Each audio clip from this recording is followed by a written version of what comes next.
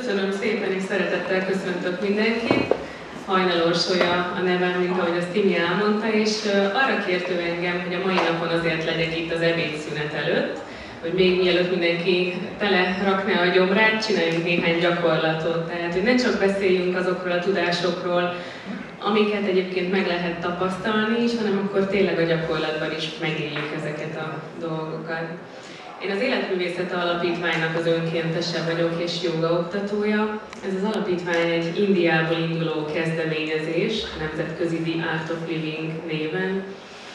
Indiában, Bangalorban van a központ, és Sri Sri Ravi Shankar az, aki az alapítványnak a megalapítója.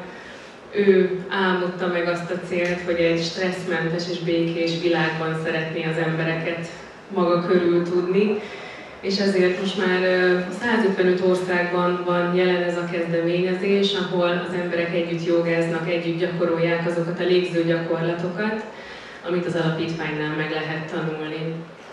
Mm, még annyit mondanék el a gurunkról, hogy egészen fiatal korában már kiderült, hogy ő különleges abból a szempontból, hogy ősi indiai védikus irodalmat recitált, sokszor találták hogy meditációban kisgyermekként, és aztán fiatal korában egy elvonuláson jött az a gondolat, az a tudás hozzá, amit később elkezdett megtanítani az embereknek is, és egy nagyon különleges légző technikát, légző gyakorlat sorozatot adott át tudásként nekünk, amit Szudársánk neveznek.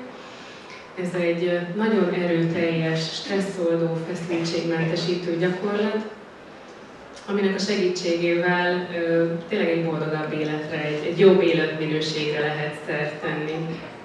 És akkor ezzel kapcsolatban megosztanék egy saját tapasztalatot, hogy miért is vagyok én itt ennél az alapítványnál. 2012-ben találkoztam Először azzal az indiai tanítómesterrel, aki egy hasonló módon kiállt így a közönség elé, és beszélt arról a dologról, amit ő képvisel, és annyira magával ragadott az ő ragyogó személyisége, hogy azt mondtam, hogy nekem el kell mennem egy ilyen tanfolyamra. Néhány hónappal később sikerült is részt vennem egy ilyenen Budapesten, és a tanfolyam második napján két kézzel jelentkeztem, hogy én ezt vinni akarom a világba mindenhova, szeretném, hogy mindenki megtapasztalhassa ezt az érzést, ezt a katartikus élményt, amit én is átéltem.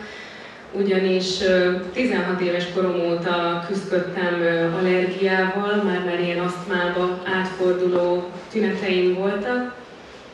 És a légzőgyakorlatok során azt vettem észre, hogy olyan érzés, mintha egy vízköves cső lenne a torkomban, és a légzés hatására így pattognának le róla ezek a vízkő darabok. Megindult a tisztulás mindenhonnan a testemből, hiszen ugye ezt tudjuk, hogy a légzéssel a méreganyagoknak akár 70-80%-át is kiadhatjuk a testünkből. És gyakorlatilag 2012 óta elindultam ezen az úton, részt veszek egyre több tanfolyamon, míg nem egy pár évvel ezelőtt Indiában elvégeztem a jogaoktatói képzést, és azóta hivatalosan is adom át ezt a tudást minél több embernek, akinek csak lehet. Mi az, amit tudunk a légzésről? Elgondolkodtunk ezen, hogy mi az a dolog, ami történik a testünkben minden percben, és valójában nem is figyelünk rá oda tudatosan? Észrevették azt, hogy most is lélegeznek? Ugye megtapasztalhatjuk a saját testünket több szinten illetve a létezésünket több szinten. Ennek mondjuk az első szintje lehet a testünk. Ugye itt ülünk most, itt, van, itt ül ez a test, tehát azt mondhatjuk, hogy itt vagyunk. De van-e értelme ennek a testnek, hogyha nincsen benne lélegzet? Szeretnének most itt velem egy teremben lenni, hogyha én nem lélegeznék? Tehát akkor mondhatjuk azt, hogy elég fontos része az életünknek a lélegzet, igaz?